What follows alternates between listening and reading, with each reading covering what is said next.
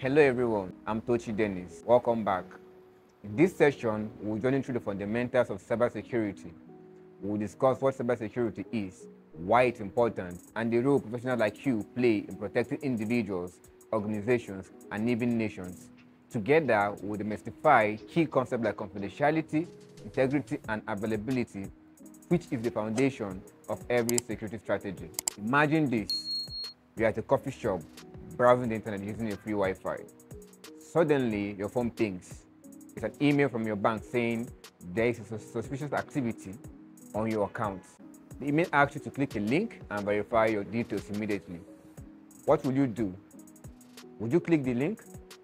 Would you panic? What if I told you that the email wasn't from your bank?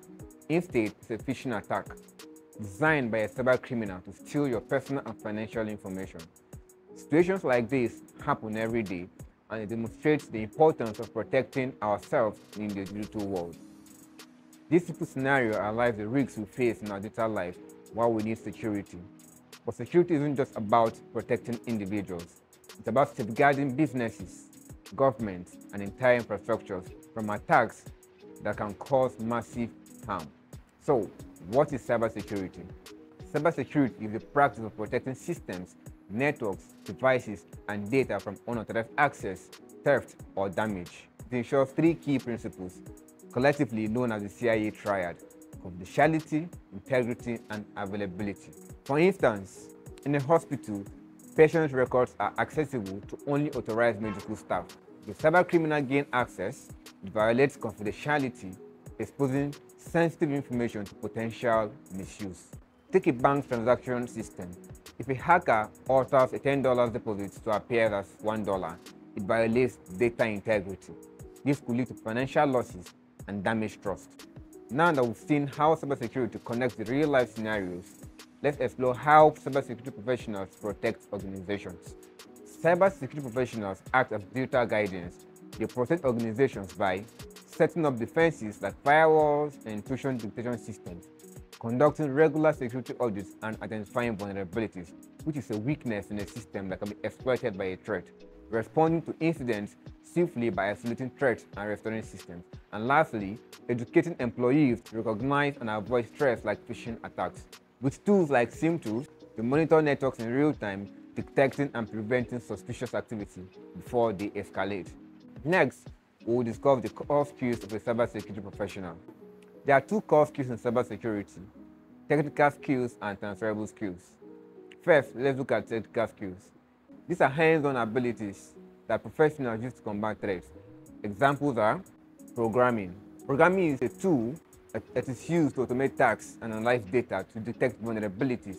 For example, Python scripts can monitor network activity. The next example is SIEM-tools.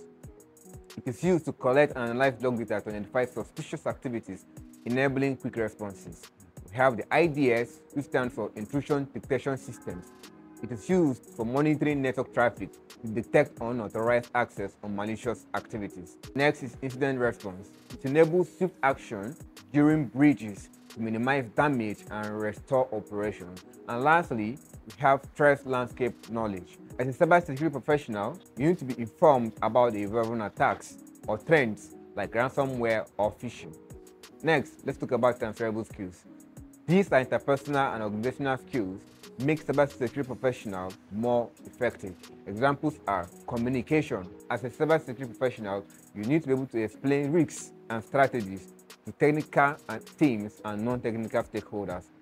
Next is time management. It helps in prioritizing tasks during incidents to contain threats quickly. Next is diverse perspectives. The only way to go far is together. You cannot do it alone. You always need to have a team around you that will help you do the job or to respond to an incident quickly. And lastly, we have problem solving. As an individual, as a cybersecurity professional, you need to have a problem solving skill that will help you in identifying and resolving issues calmly and efficiently under pressure. Together, these skills enable cybersecurity professionals to anticipate, prevent, and respond to threats effectively. Next, we'll discuss about the importance of cybersecurity. The digital world is growing rapidly, but so are the risks. Cybersecurity is not just about technical field. It's a critical part of protecting our way of life, from personal data to corporate secrets and government operations.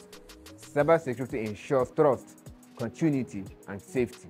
It helps in safeguarding information such as the PII and the SPII. PII stands for Personally Identifiable Information. Examples are your name, your address, your phone number, while SPII stands for Sensitive Personally Identifiable Information. Examples are like your, your fingerprint, your credit card numbers. The cybersecurity helps in security information to make sure that it stay away from unauthorized users. So that's it for now. See you in the next video.